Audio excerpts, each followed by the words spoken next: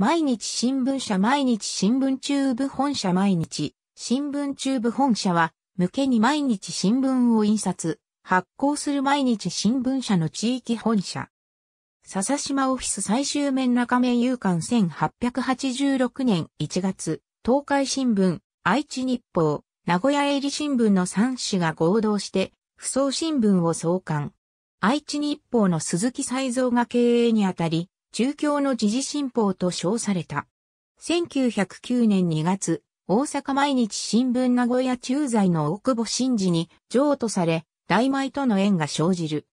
間もなく、経営は地元資本の手に戻ったが、1926年2月に、再び大阪毎日新聞社の資本参加を得て、大米の冒険士となる。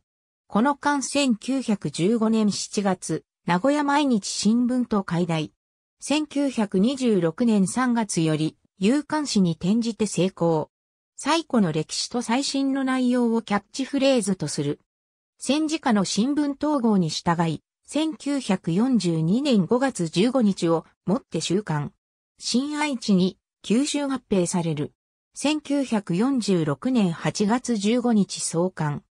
戦後、既存氏は養子統制を受け、かつ、毎日新聞は名古屋から撤退していたため、ダミー新社を立てて創刊した新講師。農業と宗教を編集基本としていた。自問は麦と稲穂。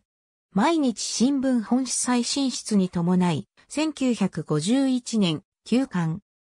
1999年8月3日付中部本社版長官に掲載されたコラム一語一話の内容が1975年8月18日付朝日新聞の天聖人語の内容とほぼ同一であることが2日後の8月5日に発覚、毎日新聞社はこの記事が盗作であるとして記事を執筆した中部本社編集局、編集センター課長を論主退職とし、同本社編集局長と報道センター長を役職停止1ヶ月、同本社代表と常務取締役を減給とする処分とした。ありがとうございます。